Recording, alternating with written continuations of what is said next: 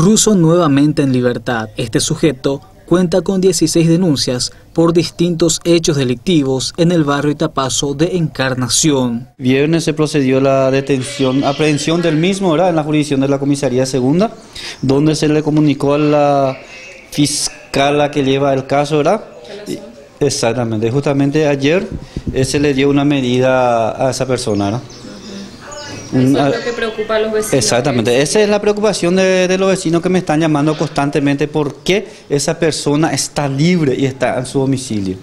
Ustedes hacen su trabajo. Nosotros hacemos todo nuestro trabajo como corresponde a la Policía Nacional, ¿verdad? Eh, tomamos la denuncia, ponemos a disposición del Ministerio Público, si es en fragancia procedemos a la aprehensión del mismo y el fiscal o el juez determina qué pasa a esa persona, si pasa a hacer eso o tiene arresto domiciliario o libertad. Y justamente ahora recibimos del juzgado de la actuaria judicial abogada Anita Blus Quisco, la oficio número 1085 de fecha 16 de septiembre de 2018, donde el mismo guardia arresto, guarda arresto domiciliario en su, en su casa.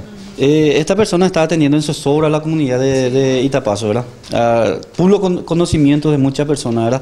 Justamente hace ocho días nosotros, el día domingo, ¿verdad? Eh, procedimos también a, a, buscar a esta persona. Y mucha gente le está apoyando hasta a, a estos delincuentes, le vamos a decir. Y yo como jefe de comisaría no voy a, a empañar esa clase de personas. El mismo es implicado en distintos hechos delictivos como hurtos, robos e incluso tentativa de homicidio.